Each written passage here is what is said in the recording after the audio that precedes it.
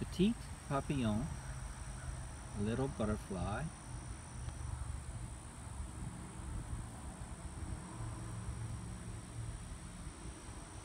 Il est orange et noir avec deux marques de jaune.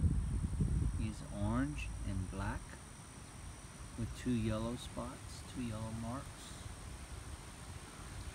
Un petit papillon, a little butterfly.